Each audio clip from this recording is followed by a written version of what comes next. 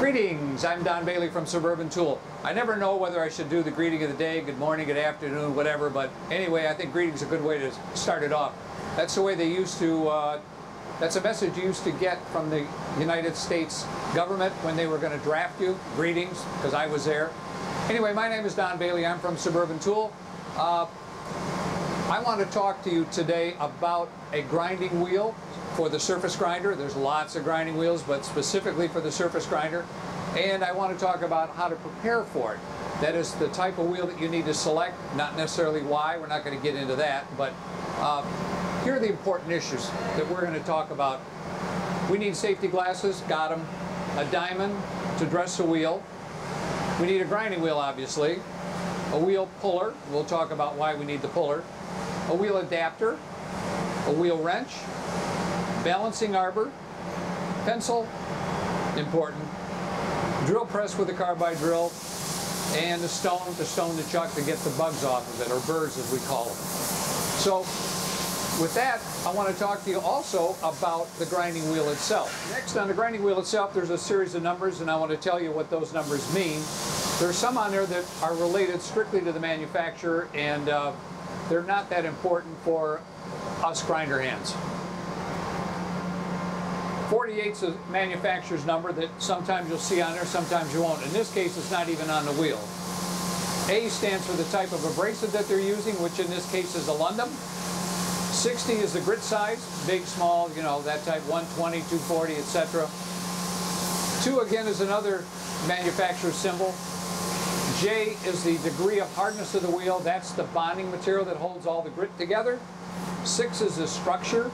That means whether it's open or closed, dense wheel, open wheel. And V is the bond type. In this case, it happens to be vitrified. That's what the V stands for. 23 is another manufacturer's symbol. And Glenn, I don't know if you can see this, but if you get a close-up on that, you'll notice that this wheel doesn't have hardly any of those numbers on there. What it does have, though, is inch and a quarter, and that means the arbor size. That's what that's about. This particular wheel has a recess on the backside. And sometimes you need that when you're trying to work up against the face of, say, an angle plate, because otherwise the hub gets in the way. Okay, when you're grinding, surface grinding that is, and you're working in tens of thousands or in some cases millions, it's important that you understand what the micro world is all about. And you need to shrink the kids, if you will, and get down to that level so you can really understand it everything affects grinding, whether it's heat, whether it's a burr, a piece of dust. All those things are critical when you're trying to hold a couple of tenths. For example,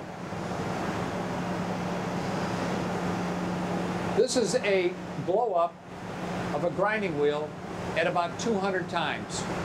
Gives you an idea about what all these little things are inside here that are doing the cutting. This is an abrasive and these are stones and they're actually going to make a chip as they grind. So it's important that you understand the fundamentals of a grinding wheel. Here's what the material looks like that you're removing when you're grinding. This is magnified 200 times as well, so when you look at it closely, it's really a form of steel wool. And most people think it's dust. Not what it is, folks. Like I said, get down to that micro level. You have to think in the micro world. That's the best way, that's the best advice I can give you if you want to give, give yourself the opportunity to grind good parts uh, at high quality product. We put a little burr on the chuck deliberately and we magnified it 200 times. Now that's what it looks like and all I did was touch it. I didn't use a hammer or anything, I just barely touched it and you can see what it did to it. It raised the material after we stoned it, that's what it looked like. Now the hole is still there, but we removed the high spot. Very important that you do that. That's why we keep a stone near the surface grinder and we use it at all times on the chuck. It's a good idea to check the wheel uh, for its integrity. Uh, doubtful that a manufacturer would send it out if it weren't proper, but anyway, you hear the ringing, indication that there's no cracks in the wheel. one of the things that you don't want to do is hammer on the spindle. So we need to tighten the wheel. How do we tighten the wheel on there without hammering on it? That's a little trick I learned a lot of years ago, back when I was a tool maker. Put the wrench on, put it up against the chuck, grab the wheel, and tighten the wheel. That secures it. You don't need a hammer. Don't even think about a hammer.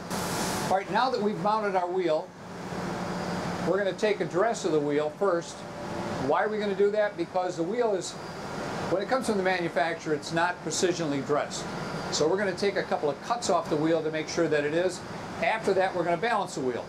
So we'll show you how to do that as well. All right, we talked about the safety glasses. Got to put them on. Wheel puller, we talked about that. I'm going to show you how we're going to use that in a bit. Wheel wrench. Stone.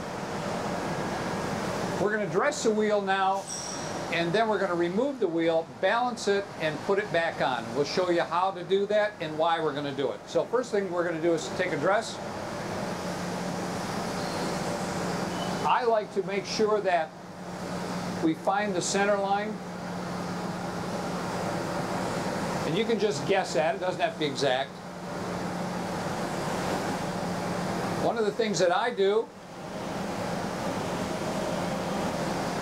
I merely bring, put my hand near the back side of the wheel, bring it down until I can feel the abrasive coming off the wheel. Got it right there. Now I know that I'm touching the wheel. I can take a dress off of it.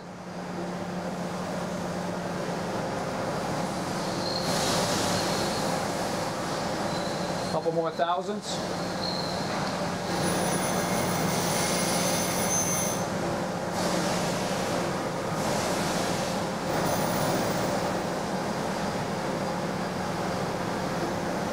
When you're dressing the wheel,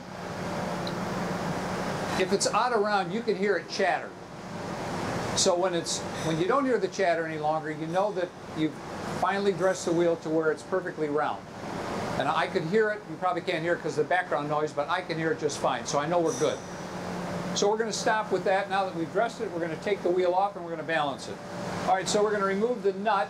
We're going to keep the arbor and the wheel intact.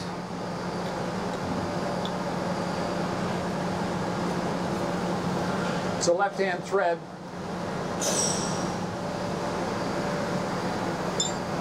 This is where the wheel, uh, wheel puller comes into play.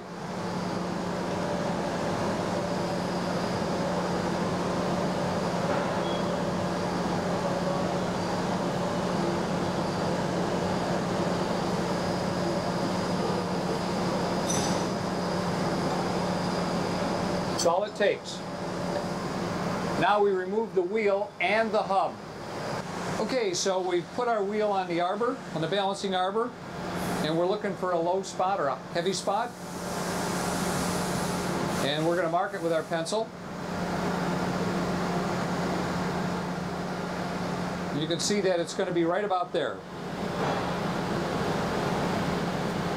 So we're going to take it from here and we're going to take it over to the drill press and we're going to drill a few holes into it so it does not affect the integrity of the grinding wheel, of course.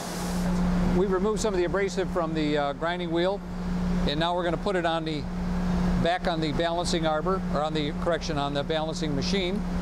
Clean off the rollers.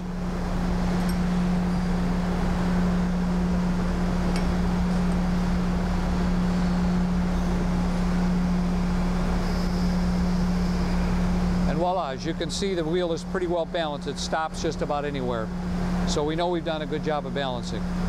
Now we did remove some material, as you can see right in here. There's always a danger of breaching the integrity of the wheel. We don't believe we did that because we didn't go far enough, we didn't go deep enough to do that. It's an insignificant amount. However, it's important to balance the wheel. It, it eliminates the vibration, which puts a chatter in a part. It's also much better on the bearings of the spindle.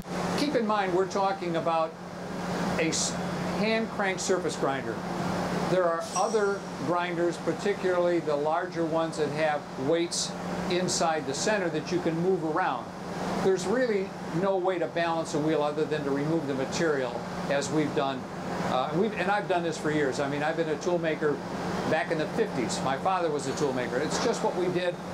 We've never, ever had a problem with it. So it's the way we do it anyway. We think it's a good way. And frankly, it's worked for so many years. All of our guys do it. We have over 50 grinder hands back there. So this is what we do. All right, we've taken the arbor off and we're going to remount the wheel. Always clean the taper on the wheel hub and the taper on the spindle. Gently install it.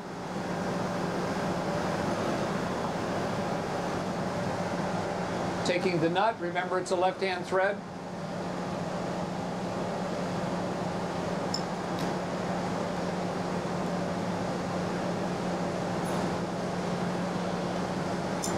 Snug it up. Okay, we put our wheel back on the surface grinder. Now we're going to take our diamond, we're going to take another dress off the wheel. And again, we want to find the center line.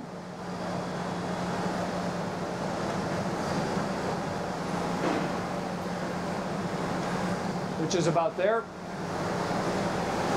Contact.